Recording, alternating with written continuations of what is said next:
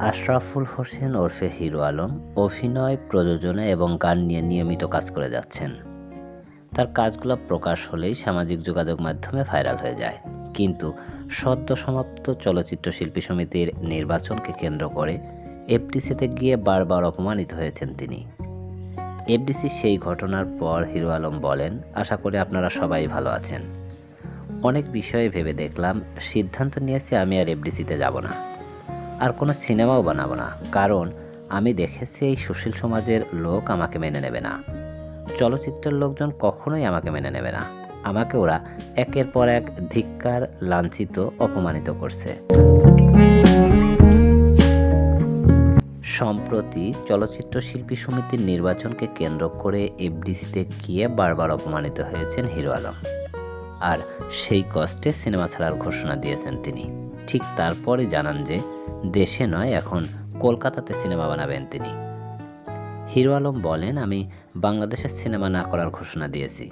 আর কখনো এফডিসিতে যাব না। কিন্তু অভিনয় কিংবা নির্মাণের সাথে না থাকতে পারলে আমি আসলে ভালো থাকতে পারব না। এবার আমি কলকাতায় কিছু সিনেমা নির্মাণের চিন্তা ভাবনা করেছি। বাংলাদেশে যেমন প্রযোজনা করেছি, হিরো হয়েছি, সেখানেও আমি প্রযোজনা করব এবং নায়ক হব। কলকাতার শিল্পীদের নিয়ে কাজ করব।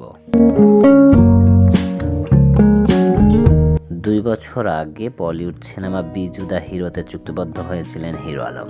সে প্রসঙ্গে তিনি বলেন, দুই বছর আগে আমি বলিউড সিনেমায় চুক্তিবদ্ধ হয়েছি, কিন্তু করোনার কারণে সিনেমাটির দৃশ্য ধারণ করা হয়নি।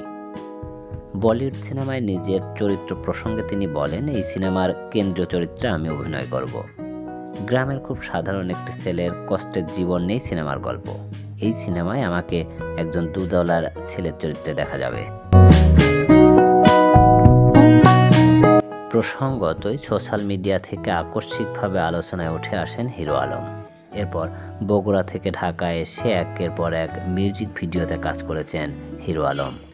মারছক্কা নামের একটি চলচ্চিত্রেও অভিনয় করেছেন হিরো আলম। তবে এবার সব কিছুকে ছাড়িয়ে হিন্দি ছবিতে ডানা মেলতে যাচ্ছেন আলোচিত এই অভিনেতা হিরো আলম। প্রিয় ভিউয়ার্স, আজ এ পর্যন্তই। ভিডিওটি ভালো লাগলে ভিডিওটিতে একটি লাইক করবেন, আর পরবর্তীতে এ ধরনের আরও ভিডিও পাবার জন্য চ্যানেলটিকে সাবস্ক্রাইব করবেন। আর যারা পূর্বেই সাবস্ক্রাইব করেছেন, তাদেরকে অসংখ্য ধন্যবাদ।